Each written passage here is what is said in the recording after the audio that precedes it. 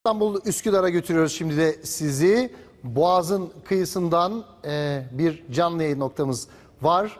Şemsi Paşa Camii'nin hemen önünde Ayça Özkan'ı görüyoruz. E, ve e, Boğaz'ın muhteşem e, eşsiz güzelliğinin önünde sesleniyor bize. Ayça niye oradasın? Ne var? Ne anlatacaksın bize?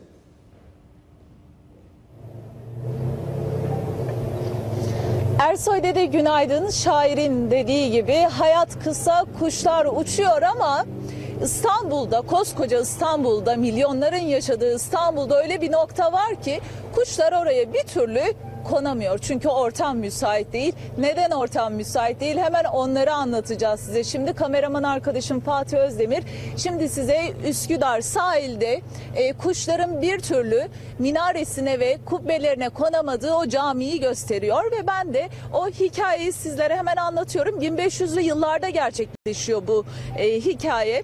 Şemsi Paşa çok titiz bir insan ve o dönemin sadrazamı Sokullu Mehmet Paşa ile sürekli rekabet halindeler. E zaman zaman bir araya geldiklerinde Hacivat'la Karagöz misali birbirleriyle sürekli çekişiyorlarmış. E, laf esnasında bir gün Sadrazam Sokullu Mehmet Paşa Sultanahmet'in hemen yanı başında yaptırdığı e, Mimar Sinan'ın en zarif eseri kabul gören Edirne Selimiye Camii'nin minyatürü olarak inşa edilen cami ile ilgili sohbet sırasında şöyle diyor.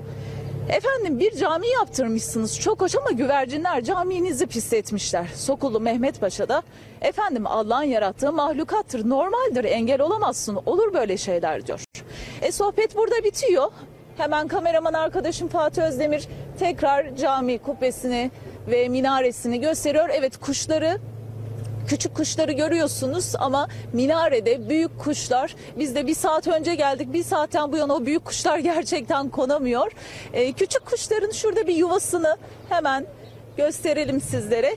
Caminin duvarlarına konabiliyor ama kubbe ve minare kısmına konamıyorlar ve hikayemize hemen şöyle devam edelim. E, bir gün Şemsi Paşa da kendisinden bir hatıra kalmasını istiyor ve cami yaptırmak istiyor.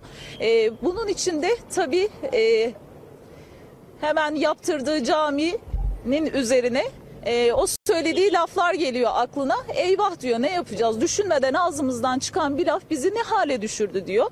Ve hemen o dönemin dehası Mimar Sinan'a gidiyor. Mimar Sinan'a diyor ki efendim böyle bir cümle sarf ettik. Üzerinde kuşların uçmayacağı bir yer var mıdır diyor Mimar Sinan'a soruyor.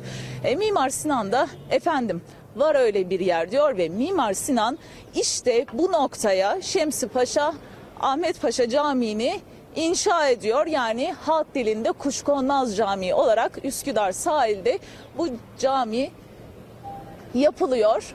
Peki neden kuş konmuyor onu da açıklayalım. Evet kameraman arkadaşım Fatih Özdemir tekrar e, İstanbul Boğazı'nı göstermesini rica edeceğim şimdi kendisinden.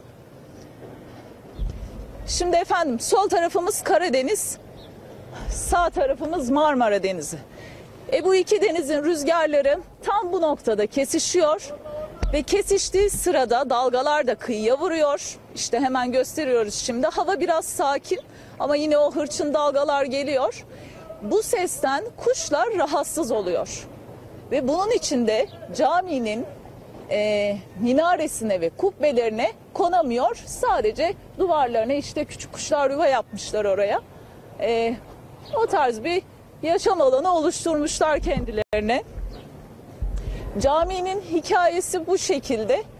E, ve hemen hazır gelmişken pırıl pırıl bir İstanbul sabahını da gösterelim sizlere. Evet önümüzde İstanbul Boğazı sağ tarafımızda Boğaz Köprüsü, vapurlar, motorlar e, sabahın ahengini yaşatıyorlar. Herkes işine okuluna gitmeye başladı. E, olta balıkçıları da Üsküdar sahilde balık tutmaya çoktan başladılar. Rast gelsin merhaba günaydın. Günaydın. Evet Kuşkonmaz Camii'nin önünde balık tutuyorsunuz. Evet e, ama bugün balık pek fazla bir şey yok. Peki cami hakkında bu e, duy- duymuş muydunuz kuşların konmadığını? E, kuş konmaz diyorlar zaten. Evet yani dediğiniz gibi siz de söylediniz biraz önce. Şeye konmuyor yani minareye değil mi? Evet. Ben de öyle biliyorum zaten. Peki rast gelsin. Sağ olun teşekkür Evet Ersoy dede hem Kuşkonmaz Camii'nin hikayesini hem de İstanbul Boğazı'nı gösterelim istedik sabah sabah sizlere. Ee, kuşlar dediğimiz gibi Karadeniz ve Marmara Denizi'nin e, rüzgarların tam kesiştiği noktadayız. Mimar Sinan e, aklını kullanıyor ve kuşlar nasıl konamaz? Tabii ki rüzgara göre konamaz diyor ve işte bu noktaya e, Şemsi Ahmet Paşa Camii'ni yapıyor. E, halk diliyle de zamanla Kuşkonmaz Camii olarak adlandırılıyor ve kuşlar e, bu caminin etrafında e, uçuyorlar. İşte kondukları yerler sınırlı alanlar. Ortam pek müsait değil onlar için. Ama hemen yakınında Mihrimah Sultan Camii var. Oraya e, her noktasına konabilirler diye düşünüyoruz. Evet sözü size bırakalım Ersoy Dede. Teşekkür